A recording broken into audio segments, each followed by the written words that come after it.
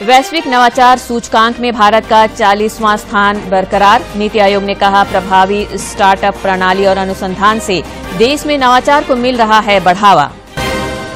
पश्चिमी सिंहभूम के टोटो थाना क्षेत्र में सर्च अभियान में निकले जवान आए, आईईडी विस्फोट की चपेट में, कोबरा बटालियन का एक जवान शहीद। मेरी माटी, मेरा देश अभियान के तहत कल रांची से निकलेगी अमृत कलश यात्रा। राज्य के 10 प्रखंडों के 100 अलग अलग गाँवों से कलशों में लाई जाएगी मिट्टी। और राजधानी रांची समेत राज्य के कई हिस्सों में आज भी हुई वज्रपात के साथ जोरदार बारिश। मौसम विभाग ने कहा, बारिश का सिलसिला 2 अक्टूबर तक रहेगा जारी।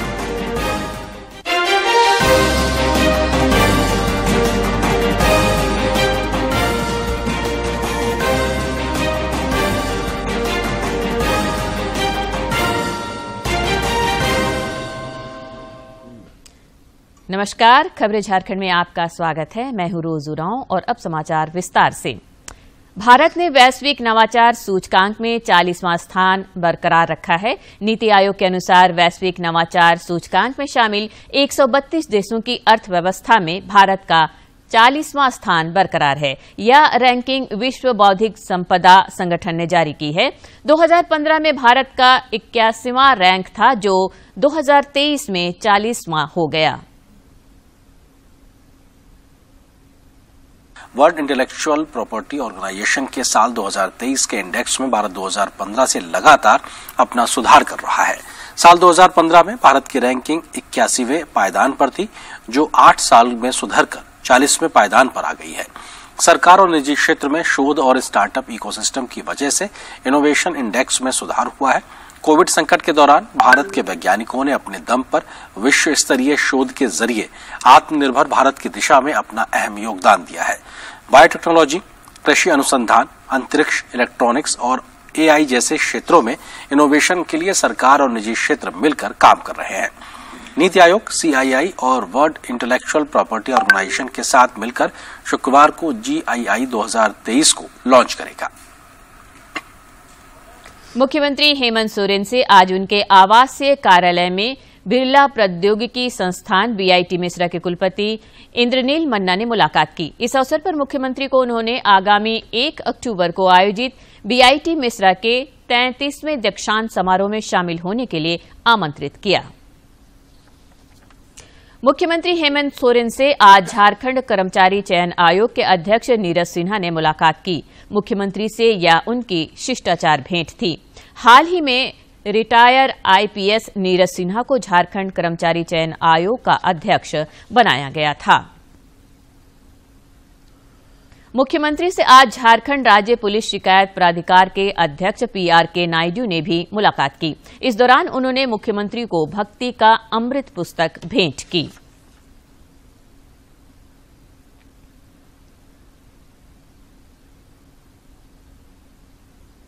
भाजपा के प्रदेश अध्यक्ष बाबूलाल मरांडी की संकल्प यात्रा लगातार जारी है।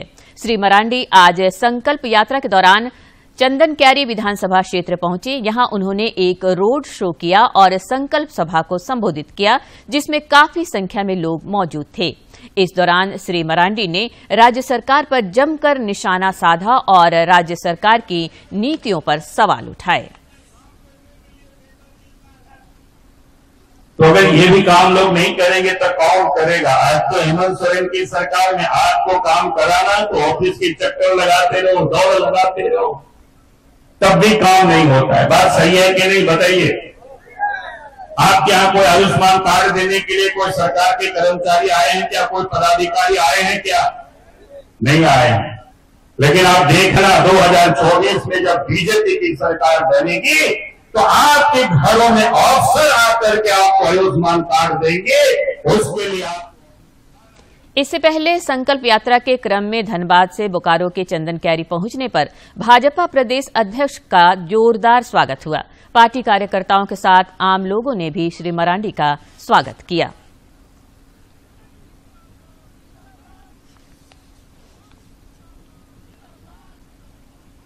भाजपा के राष्ट्रीय उपाध्यक्ष और राज्य के पूर्व मुख्यमंत्री रघुवर दास ने मुख्यमंत्री हेमंत सोरेन को पत्र लिखकर स्थापित रीति रिवाज पारंपरिक वेशभूषा और परंपराओं को मानने वाले अनुसूचित जनजाति समाज के लोगों को ही एसटी जाति प्रमाण पत्र निर्गत करने का अनुरोध किया। श्री दास ने केरल हाईकोर्ट के निर्णय का हवाला देते हुए मुख्यमंत्री से कार्मिक विभाग को इसे लेकर पत्र जारी करने संबंधी निर्देश देने का आग्रह किया है। चाईबासा के नक्सल प्रभावित टोंटो थाना क्षेत्र के सरजमबुरु और हाकातुम्बा गाँव के पास के जंगल में आईईडी ब्लास्ट हुआ। इसमें कोबरा बटालियन का एक जवान शहीद हो गया और एक अन्य जवान घायल हुए हैं। गंभीर अवस्था में घायल जवान को हेलीकॉप्टर से रांची लाया गया है। ज़िले के पुलिस अधीक्षक आशुतोष शेखर ने बताया कि लगातार चलाए जा रहे अभियान के दौरान सुरक्षा बलों को कई विस्फोटक भी मिले हैं। उन्होंने कहा कि इसी दौरान तीन आईईडी ब्लास्ट हुए, जिसमें यह हादसा हुआ। प्रसिद्ध कृषि वैज्ञानिक और हरित क्रांति के जनक के रूप में प्रख्यात एम एस स्वामीनाथन का आज चेन्नई में उनके निवास पर निधन हो गया। वे अंठानवे वर्ष के थे। स्वामीनाथन ने अपनी नीतियों के माध्यम से सामाजिक क्रांति लाकर 1960 के दशक में भारत को अकाल जैसी स्थिति से बचाया। भारत के महान कृषि वैज्ञानिक एम एस स्वामीनाथन का आज निधन हो गया। तमिलनाडु की राजधानी चेन्नई में उन्होंने आज सुबह अंतिम सांस ली। उनका जन्म 7 अगस्त 1925 को हुआ था। स्वामीनाथन ने अट्ठानवे साल की उम्र में दुनिया को आज अलविदा कह दिया। उन्हें भारत में हरित क्रांति के जनक के तौर पर जाना जाता है। मिली जानकारी के मुताबिक लंबी उम्र की वजह से आने वाली दिक्कतों के चलते उनका निधन हो गया।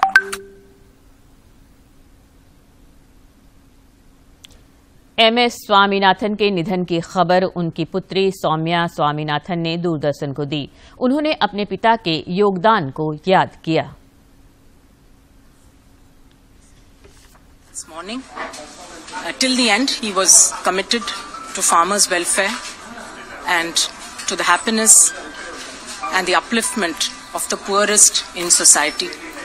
My father had uh, made taken a lot of uh, initiatives actually to promote women's empowerment in the work of the foundation of the MS Swaminathan Research Foundation, but also his ideas have led to programs like the Mahila Sasashtikaran uh, Yojana and when he was member of the Planning Commission, he uh, was a member of the sixth Planning Commission. For the first time, uh, there was a chapter on gender that was included and a chapter on environment.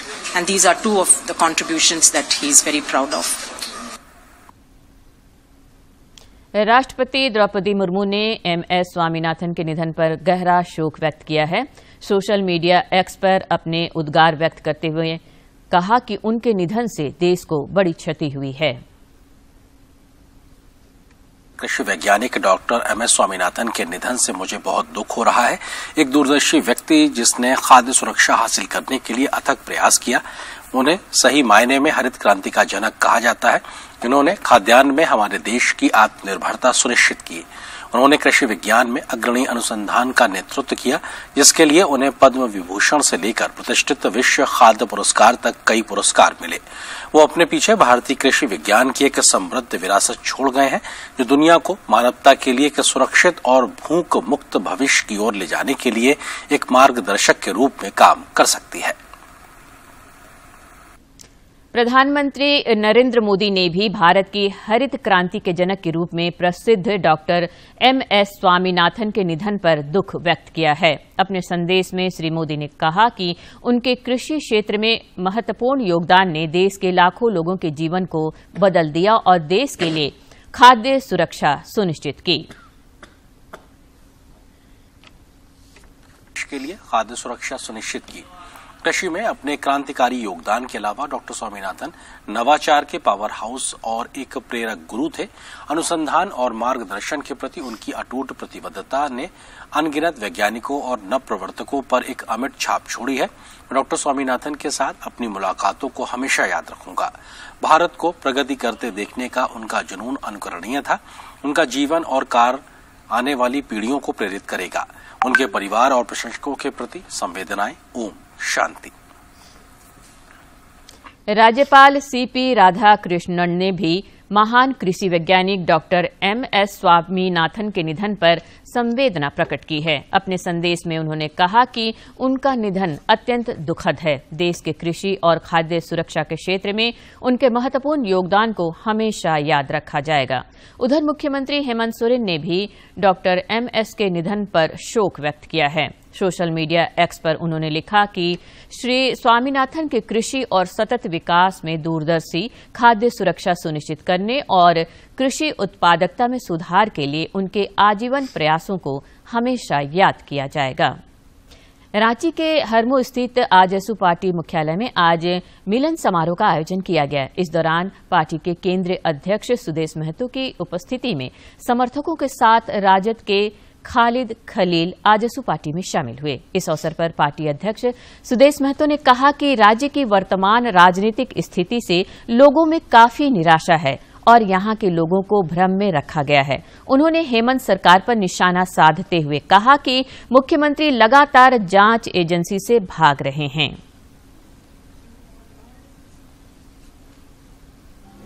लोगों को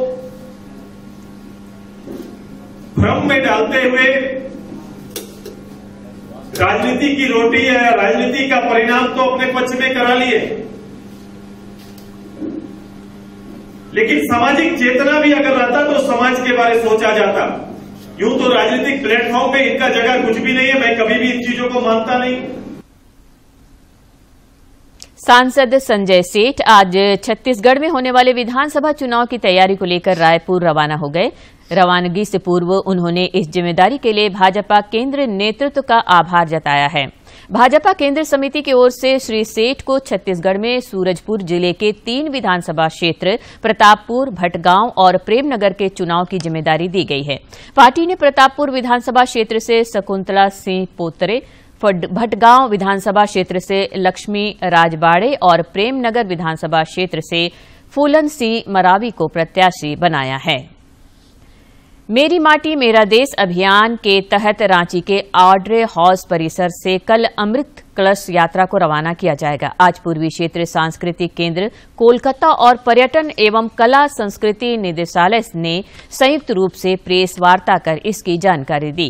कार्यक्रम समिति के सदस्य चंद्रदेव सिंह ने बताया कि अमृत कलश यात्रा को विभाग के निदेशक धर्मेंद्र दीक्षित हरी झंडी दिखाकर रवाना करेंगे। इसके अंतर्गत 10 प्रखंडों के 100 अलग अलग गाँवों से कलशों में मिट्टी लाई जाएगी। इन कलशों को दिल्ली भेजा जाएगा। ईस्ट जोन में आते हैं पूर्व क्षेत्र में। और हम लोग पूर्व क्षेत्र के फुल मेंबर है झारखंड। झारखंड, बिहार, उड़ीसा, नॉर्थ ईस्ट के जो राज्य है। तो आज ये जो भीड़ वार्ता करने का एक मुख्य उद्देश्य ये है कि हम लोगों को राज्य में सौ गाँवों में अमृत कलश यात्रा अभियान में अपना कुछ सहयोग देने का अवसर मिला है। झारखंड सांस्कृतिक निदेशालय को। इधर नेहरू युवा केंद्र द्वारा तमाड़ प्रखंड के सरजामडी गाँव में मेरी माटी मेरा देश अभियान के तहत कार्यक्रम आयोजित किया गया। नेहरू युवा केंद्र के विकास सेठी के नेतृत्व में सरजामडी गाँव से चावल और मिट्टी एकत्रित किया गया। उधर रांची ज़िले के इटकी प्रखंड के मल्टी पंचायत में भी मेरी माटी, मेरा देश अभियान के तहत कार्यक्रम आयोजित किया गया। नेहरू युवा केंद्र द्वारा आयोजित इस कार्यक्रम में मल्टी पंचायत के मुखिया और स्थानीय ग्रामीणों द्वारा घर घर से मिट्टी एकत्रित की गई।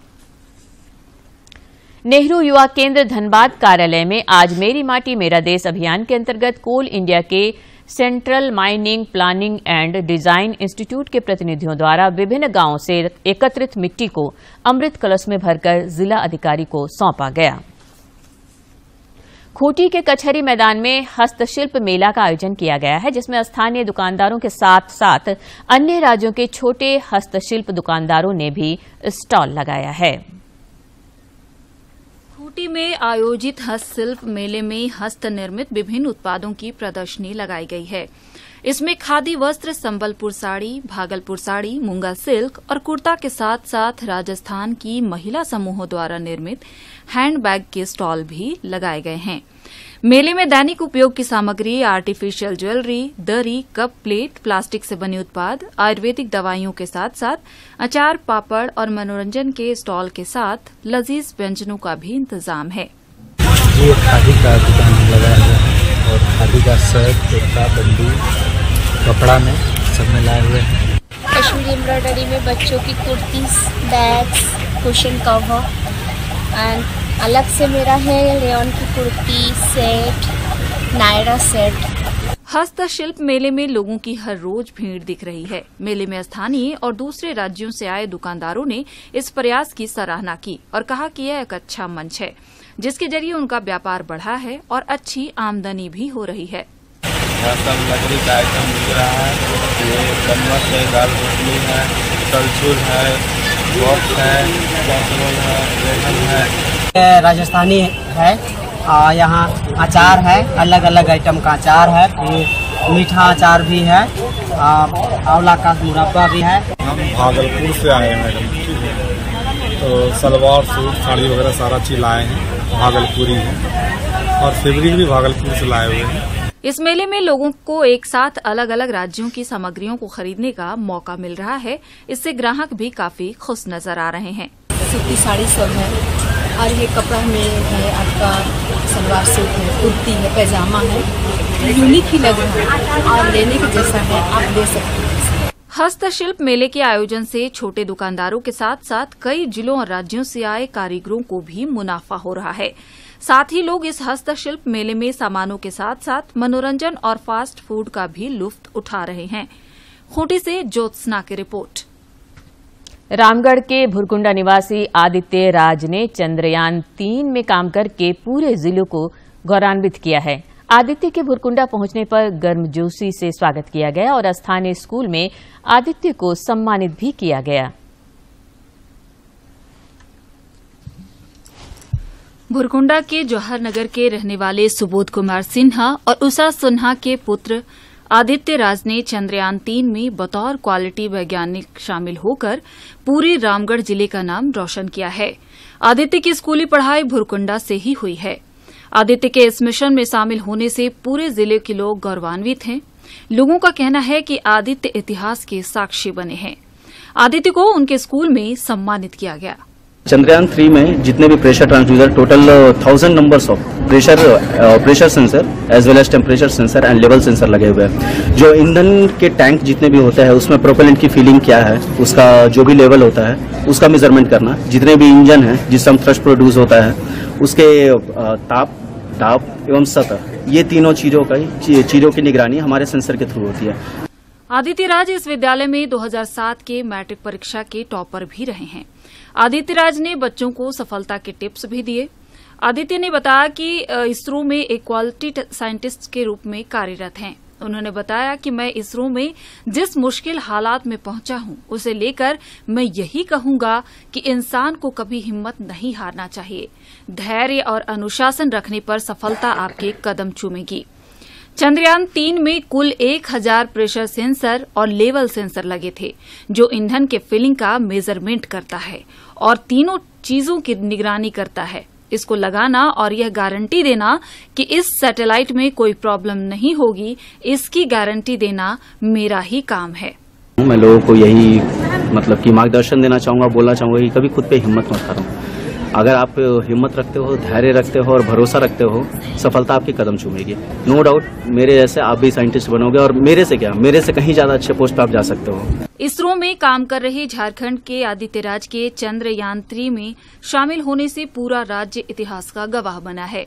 आदित्य राज ने बताया कि वह किस तरह से इसरो में काम करते हैं। साथ ही उन्होंने बच्चों को मोटिवेट भी किया। उनको सुनने के बाद बच्चों ने कहा कि वो भी उनके जैसा साइंटिस्ट बनना चाहते हैं। रामगढ़ से कौशल किशोर तिवारी की रिपोर्ट। राजधानी रांची से सटे हुए मैकलुस्कीगंज को केंद्रीय पर्यटन मंत्रालय द्वारा घोषित किए गए बेस्ट टूरिस्ट गाँव पुरस्कारों में ब्रॉन्ज मेडल से सम्मानित किया गया है। इस कैटेगरी में केंद्रीय पर्यटन मंत्रालय द्वारा स्वर्ण, रजत और कांस्य पदकों से देश भर के टूरिस्ट स्थलों को सम्मानित किया गया, जिसमें झारखंड का मैकलुस्कीगंज भी शामिल है। केंद्रीय पर्यटन मंत्रालय ने कल विश्व पर्यटन दिवस पर दिल्ली के भारत मंडपम में सांस्कृतिक विरासत, सतत विकास के संरक्षण के लिए पाँच गाँवों को स्वर्ण, दस गाँवों को रजत और बीस गाँवों को कांस्य श्रेणी में सम्मानित किया है।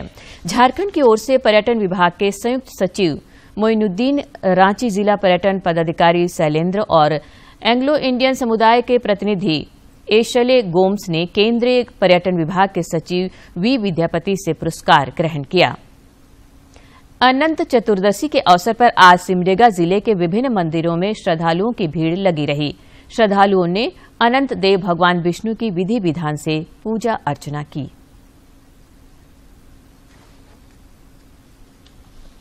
अनंत चतुर्दशी के अवसर पर अनंत देव भगवान विष्णु की पूजा का विधान है। पंडित सोमनाथ मिश्रा ने बताया कि इस व्रत का विशेष महत्व है। नियम पूर्वक यह पूजा करने और अनंत देव की कथा सुनने से मन वांछित फल मिलते हैं। उन्होंने कहा कि आदिकाल से ही यह पूजा होती आ रही है। अनंत पूजा में विष्णु भगवान का पूजा किया जाता है। उन्हें को अनंत रूप माना गया है। जब विष्णु जी ने चौदह लोगों का निर्माण किया था तो प्रत्येक लोक में अपने एक रूप को उस लोक के पालन करने के लिए अपने एक रूप में प्रकट हुए थे, चौदह लोक में, चौदह भुवन जिनको कहा जाता है। तो उन्हीं का, चौदह रूप में उनका मतलब सूत के डोरे में चौदह गांठ देकर आनंद भगवान का पूजा किया जाता है। भक्तों ने बताया कि भगवान अनंत देव की पूजा से परिवार में सुख, शांति और समृद्धि आती है। इस अवसर पर विशेष रूप से खीरा और मालपुआ प्रसाद स्वरूप चढ़ाया जाता है। अनंत चतुर्दशी का ये व्रत बड़ी धूमधाम से इस हनुमान मंदिर प्रांगण में मनाए इसका विधि विधान से करने पर बहुत ही बहुत फलदायी पर्व है। हिंदू धर्म में अनंत चतुर्दशी को बहुत ही शुभ दिन माना गया है। आज ही के दिन 10 दिनों से चल रहे गणेश महोत्सव का समापन भी होता है। सिमडेगा से मनोज कुमार सिन्हा मनु की रिपोर्ट। झारखंड समेत देश भर में आज पैगंबर हज़रत मोहम्मद के जन्मदिन पर ईद मिलाद उन नबी का त्यौहार मनाया गया। जमशेदपुर के मानगो गांधी मैदान से आज सुबह जुलूस ए मोहम्मदी निकाला गया। इस अवसर पर मौलाना ने बताया कि मोहम्मद साहब के जन्मदिन पर अमन चैन की दुआएँ मांगी गई। राज्य के स्वास्थ्य मंत्री बन्ना गुप्ता भी जुलूस में शामिल हुए। उन्होंने उम्मीद जताई कि देश में गंगा जमुनी तहजीब बनी रहे।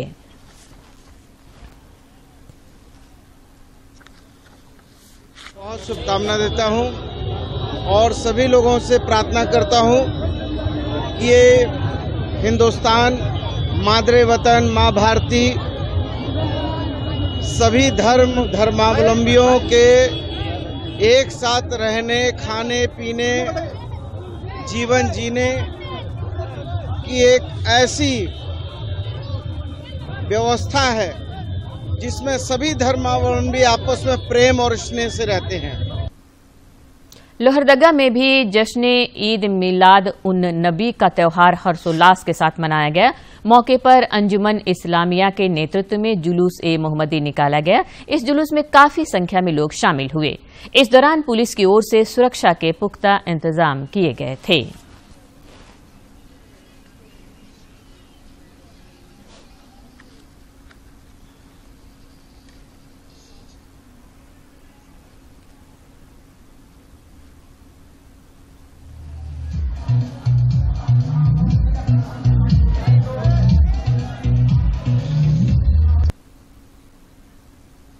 इधर हजारीबाग में भी पैगंबर हज़रत मोहम्मद साहब के जन्मदिन को मुस्लिम समुदाय ने हर्षोल्लास से मनाया।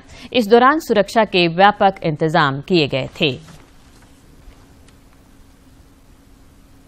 राजधानी रांची में पोस्ट मानसून के प्रभाव में आज जोरदार बारिश हुई। मौसम विभाग ने राजधानी रांची समेत राज्य के कई हिस्सों में एक अक्टूबर से मानसून के सक्रिय होने का पूर्वानुमान जारी किया है। इस दौरान कई इलाकों में हल्की और मध्यम दर्जे की बारिश के साथ वज्रपात हो सकती है। विभाग ने 30 सितंबर को राज्य में अलग अलग स्थानों पर आंधी बिजली गिरने की संभावना ज़ाहिर की है। विभाग के अनुसार राज्य के दक्षिणी और आसपास के मध्य भागों में भारी बारिश की संभावना है। वहीं एक और दो अक्टूबर को राज्य के उत्तर पूर्वी और दक्षिण पश्चिमी हिस्सों में भारी बारिश की संभावना है। और अंत में मुख्य समाचार एक बार फिर।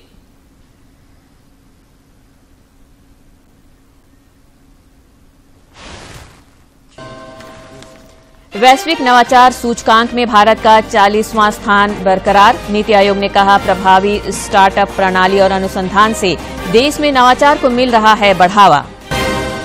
पश्चिमी सिंहभूम के टोंटो थाना क्षेत्र में सर्च अभियान में निकले जवान आए आईईडी विस्फोट की चपेट में, कोबरा बटालियन का एक जवान शहीद।